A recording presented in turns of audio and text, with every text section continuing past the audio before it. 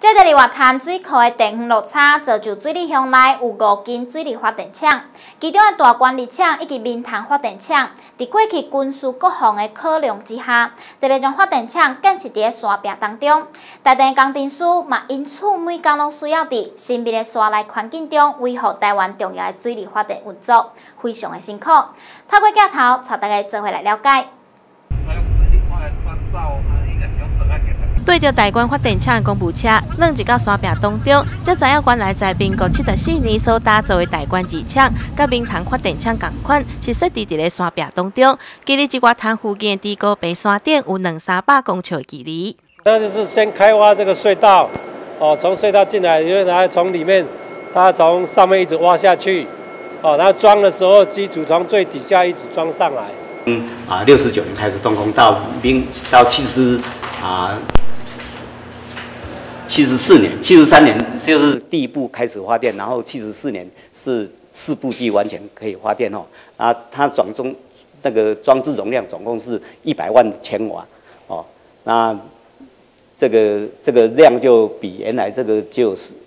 大这个大关一场这个大原来的大关跟济公的两个合起来才十五十五啊十五万多嘛。啊，这个已经。一个就是一百万了哈。大关二厂跟一厂无同的所在，除了在使用年份上的差别，另外就是水冷机装饰方向甲规模也无同。但上重要的是，大关二厂的水冷机会当在发电的离峰期间，将水搁再抽出登去一挂潭。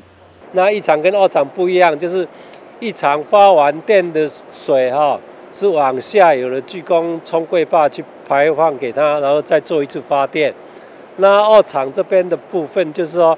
哦，发完电的水哦，然后储存在我们的下池坝，我们叫讲下池，然后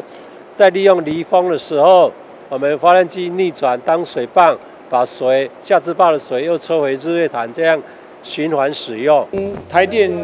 公司的水利发电厂哈，当然以前哈那是所谓的呃种地的哈，现在为了让大众了解说台电公司我们工作同仁的一个辛苦跟工作环境啊，能下来亲身感受一下哈，那跟我们台电公司的同仁那一起了解现在的工作的环境，跟他们努力的地方。台电公司的大关二厂以及闽潭发电厂，在过去的各方考量下，建造在山壁当中，安全又够稳密。到了现代，成为一种特色以外，电厂即马也真愿意开放给乡亲来申请参观，做回来了解，才有进入历史贡献的水利发电厂。记者金山差不多。